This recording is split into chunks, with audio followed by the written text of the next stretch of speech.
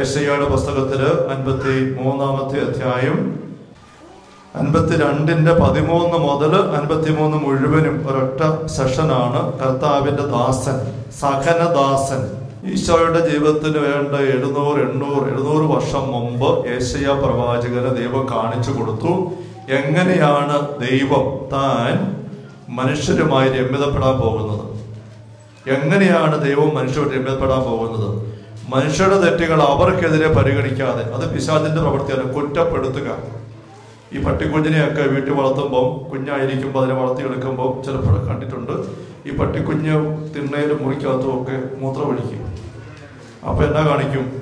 ഇതിന്റെ ഈ പടലേക്ക് പിടിച്ചുകൊണ്ട് കൊണ്ടുവന്നിട്ട് ഈ ഒഴിച്ചിരിക്കുന്ന മൂത്രത്തിലോട്ട് കൊണ്ട് ഇതിന് മൂക്ക് മുട്ടിച്ച് നിർത്തിയിട്ട് മൂക്കൊരു മുട്ടിയിലും കയ്യിലിരിക്കുന്ന വടി കൊണ്ട് ചോരുന്നായി ഈർക്കലി കൊണ്ട് ചന്തിക്കിട്ട് ഒരടിയും. പിന്നെ ഒന്നോട് മുട്ടും മുത്തിക്കും ഒന്നോടെ അടിക്കും. ഒന്നോട് മുത്തിക്കും ഒന്നോടെ അടിക്കും. അപ്പൊ ഈ പട്ടിക്കുഞ്ഞിന് മനസ്സിലാവും ഇങ്ങനെ ചെയ്യുന്നതിന്റെ കുഴപ്പമാണ്. ഇതാണ് കുറ്റത്തിൽപ്പെടുത്തുക. കുറ്റപ്പെടുത്തുക. നീയല്ല ഇത് കാണിച്ചത്. മക്കള. മണക്കട. മക്കള കുറ്റത്തിൽപ്പെടുത്തുകയാണ്. ഇത് സാത്താന്റെ പരിപാടിയാണ്. നീയല്ല അത് കാണിച്ചത്. മാറ്റിക്കൊണ്ട് പോവാം നീ ഉണ്ടാക്കി വെച്ചതല്ലേ? ശരിയാക്കിക്കൊണ്ട് നീ നീയല്ല അത് കാണിച്ചത്. ശരിയാക്കിക്കൊണ്ട് പോവാ നമുക്ക് സ്വഭാവം കിട്ടിയിട്ടുണ്ട്. കുറ്റപ്പെടുത്തുക. ഇത് പിശാചിന്റെതാണ് പരിശുദ്ധാത്മാവ് ബോധ്യപ്പെടുത്തുന്ന ആത്മാവ് നമ്മൾ കണ്ടു. അവിടെ ദൈവം ഇതെങ്ങനെ ചെയ്തു? ഈ അഴുക്ക് മുഴുവനും മനുഷ്യരുടെ തെറ്റുകൾ അവർക്കെതിരെ പരിഗണിക്കാതെ അവരുടെ മൂക്ക് കൊണ്ട് ഇതിനകത്ത് മുട്ടിക്കുന്നതിന് പകരം പാവമറിയാത്ത തന്റെ ഏകപുത്രനെ ഈ പാവത്തിലേക്ക് കൊണ്ടുപോയിട്ടു ഇത് ഈശോയുടെ ജീവിതത്തിന് എഴുന്നൂറ് വർഷം മുമ്പ് തമ്പരം കാണിച്ചു കൊടുത്തു. യേശയ്യ അത് കണ്ടിട്ട് കുറിച്ചു വെച്ചു. എന്താ കുറിക്കുന്നത് തന്നെ അറിയത്തില്ല. കാരണം കർത്താവിന് സഹനദാസൻ. അവരിങ്ങനെ എല്ലാവരുടെയും മുമ്പിൽ ഉപേക്ഷിക്കപ്പെട്ടവനായിരുന്നു. എല്ലാവരും വെറുക്കപ്പെട്ടവനായിരുന്നു. അവന് വേണ്ടി വാദിക്കാൻ ആരും ഉണ്ടായിരുന്നില്ല. കൊല്ലാൻ കൊണ്ടത് കുഞ്ഞാടിനെ പോലെ അവൻ നിന്നു. പക്ഷെ അവൻ നമ്മുടെ പാവങ്ങളാ വഹിച്ചത്. നമ്മുടെ രോഗങ്ങളാ അവൻ ചുമന്നത്. അവന്റെ ക്ഷതങ്ങൾ വഴി നമ്മളാ സൗഖ്യം പ്രാപിച്ചത്. നമ്മളാ വഴി തെറ്റിപ്പോയത്. ദൈവം അവനെ ശിക്ഷിച്ചു. നമ്മുടെ അകൃതികൾ അവന്റെ മേൽ ചുമത്തി. അവൻ സ്വന്തം ബലി സ്വന്തം ജീവൻ ബലിയായിട്ട് അർപ്പിച്ചു. പക്ഷെ അവൻ അതുവഴി അനേകരുടെ അപ്പനാകും പിതാവാകും. ജനതകളെ നേടും. രാജാക്കന്മാരുടെ മുമ്പിൽ അവൻ നിൽക്കും. ഇങ്ങനെയൊക്കെ ചിന്തിച്ച ഉത്തരമില്ലാത്ത കുറെ കാര്യങ്ങൾ സമ്പന്നരുടെയും പാപികളുടെ ഇടയിൽ സംസ്കരിക്കപ്പെട്ടു അല്ലേ?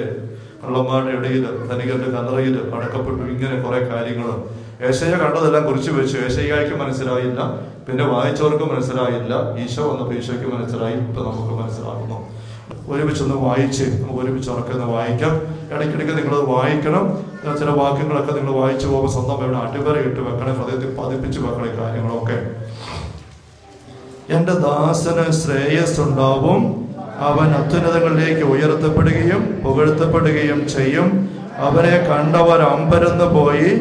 മനുഷ്യനെന്ന് തോന്നാത്ത വിധം അവൻ വിരൂപനായിരിക്കുന്നു. അവന്റെ രൂപം മനുഷ്യന്റേതല്ല. അവൻ അനേക ജനതകളെ പരിഭ്രാന്തരാക്കും. രാജാക്കന്മാർ അവൻ മൂലം നിശബ്ദരാകും.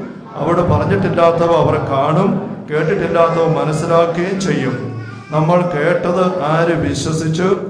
കർത്താവിന്റെ കാലമാർക്ക് വെളിപ്പെട്ടിട്ടുണ്ട്. തൈച്ചടി പോലെ വരണ്ട ഭൂമി നിൽക്കുന്ന മുള പോലെ അവൻ അവിടുത്തെ മുൻപിൽ വളർന്നു. ശ്രദ്ധാർഹമായ രൂപഭംഗിയോ ഗാംഭീര്യമോ ആകർഷകമായ സൗന്ദര്യമോ അവൻ ഉണ്ടായിരുന്നില്ല. അവൻ മനുഷ്യരാൽ നിന്ദിക്കപ്പെടുകയും ഉപേക്ഷിക്കപ്പെടുകയും ചെയ്തു. അവൻ വേദനയും ദുഃഖവും നിറഞ്ഞവനായിരുന്നു. അവനെ കണ്ടവർ മുഖം തിരിച്ചു കളഞ്ഞു. അവൻ നിന്ദിക്കപ്പെട്ടു. നാം അവനെ ബഹുമാനിച്ചതുമില്ല. നമ്മുടെ വേദനകളാണ് യഥാർത്ഥത്തിൽ അവൻ വഹിച്ചത്. നമ്മുടെ ദുഃഖങ്ങളാണ് അവൻ ചുമന്നത്. ദൈവം അവരെ പ്രകരിക്കുകയും ശിക്ഷിക്കുകയും ദണ്ഡിപ്പിക്കുകയും ചെയ്തെന്ന് നാം കരുതി. നമ്മുടെ അതിക്രമങ്ങൾക്ക് വേണ്ടി അവൻ മുറിവേൽപ്പിക്കപ്പെട്ടു? നമ്മുടെ അകൃത്യങ്ങൾക്ക് വേണ്ടി ക്ഷതമേൽപ്പിക്കപ്പെട്ടു? അവന്റെ മേലുള്ള ശിക്ഷ നമുക്ക് രക്ഷ നൽകി അവന്റെ ക്ഷതങ്ങളാൽ നാം സൗഖ്യം പ്രാപിച്ചു. ആടുകളെ പോലെ നാം വഴിതെറ്റിപ്പോയി. നാം ഓരോരുത്തരും സ്വന്തം വഴിക്ക് പോയി. നമ്മുടെ അകൃത്യങ്ങൾ കർത്താവ് അവന്റെ മേൽ ചുമത്തി. അവൻ മർദ്ദിക്കപ്പെടുകയും പീഡിപ്പിക്കപ്പെടുകയും ചെയ്തു. എങ്കിലും അവൻ ഉരിയാടിയില്ല. കൊല്ലാൻ കൊണ്ടുപോകുന്ന കുഞ്ഞാടിനെ പോലെയും രോമം കത്തിരിക്കുന്നതോട് മുമ്പിൽ നിൽക്കുന്ന ചെമ്മരിയാടിനെ പോലെയും അവൻ മൗനം പാലിച്ചു. മർദ്ദനത്തിനും ശിക്ഷാവിധിക്കും അധീനനായി അവൻ എടുക്കപ്പെട്ടു. എന്റെ ജനത്തിന്റെ പാപനിമിത്തമാണ് അവൻ പീഡനമേറ്റ് ജീവിക്കുന്നവരുടെ ഇടയിൽ നിന്നും വിച്ഛേദിക്കപ്പെട്ടതെന്ന് അവന്റെ തലമുറയിൽ ആര് കരുതി? അവൻ ഒരു അതിക്രമവും ചെയ്തില്ല. അവന്റെ വായിൽ നിന്ന് വഞ്ചന പുറപ്പെട്ടുമില്ല. എന്നിട്ടും ദുഷ്ടരുടെയും ധനികരുടെയും ഇടയിൽ അവൻ സംസ്കരിക്കപ്പെട്ടു. അവന് ക്ഷതമേൽക്കണം എന്നത് കർത്താവിന്റെ ഹിതമായിരുന്നു. അവിടുന്നാണ് അവനെ ക്ലേശങ്ങൾക്ക് വിട്ടുകൊടുത്തത്. പാവപരിഹാര ബലിയായി തന്നെ തന്നെ അർപ്പിക്കുമ്പോൾ അവൻ തന്റെ സന്തതി പരമ്പരയെ കാണുകയും ദീർഘായുസ് പ്രാപിക്കുകയും ചെയ്യും. കർത്താവിന്റെ ഹിതം അവനിലൂടെ നിറവേറുകയും ചെയ്യും. തന്റെ കഠിന വേദനയുടെ ഫലം കണ്ട് അവൻ സംതൃപ്തനാകും. നിധിമനായ എന്റെ ദാസൻ തന്റെ ജ്ഞാനത്താൽ അനേകരെ നീതിമാന്മാരാക്കും. അവൻ അവരുടെ തിന്മകളെ വഹിക്കുകയും ചെയ്യും. ഞാൻ അവന് അവകാശം കൊടുക്കും. ശക്തരോട് കൂടെ അവൻ കൊള്ള മുതൽ പങ്കിടും. എന്നാൽ അവൻ തന്റെ ജീവനെ മരണത്തിന് ഏൽപ്പിച്ചു കൊടുക്കുകയും പാപികളോട് കൂടെ എണ്ണപ്പെടുകയും ചെയ്തു. എന്നിട്ടും അനേകരുടെ പാപഭാരം അവൻ പേറി അതിക്രമങ്ങൾക്ക് വേണ്ടി മാധ്യസ്ഥം വഹിച്ചു. ഇത് നമ്മൾ വായിച്ചു വായിച്ചു ഇടയ്ക്കിടയ്ക്ക് ധ്യാനിക്കണം. ഈശ്വരൻ നോക്കി അങ്ങനെ